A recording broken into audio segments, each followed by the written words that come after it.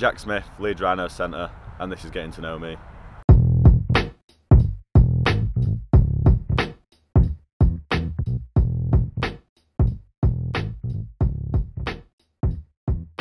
I just think just through watching it on the TV on like Sky and stuff like that, from watching grand finals from being a young age, I think that really pushed and inspired me to play rugby. Yeah.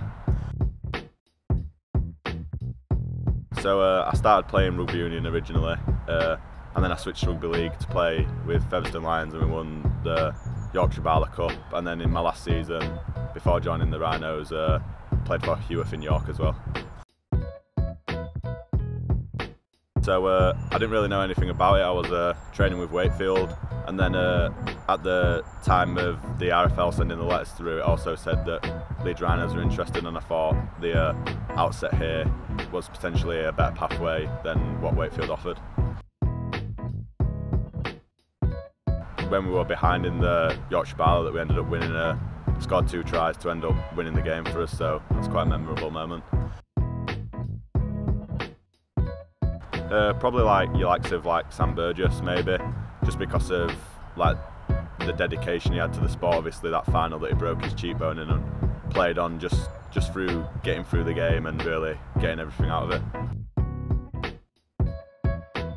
Uh, so I'm at uh, College studying uh, A-level English, A-level Geography and A-level Business.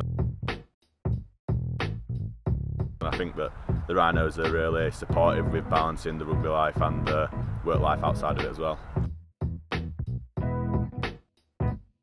Uh, probably just to uh, keep your head up when stuff aren't going your way. It's not always going to go your way on the field, so don't let it get to you too much. Just, just everything really. Just, just the new friends that you meet through, uh, through playing rugby, and obviously the uh, support that the coaches give you to make your game better as well. maybe to be pushing for a reserves game. Obviously, just uh, nearly turning 17, so pushing to play the academy games and maybe by the end of it play a couple of reserves as well. Hard working, fast thinking, and intelligent.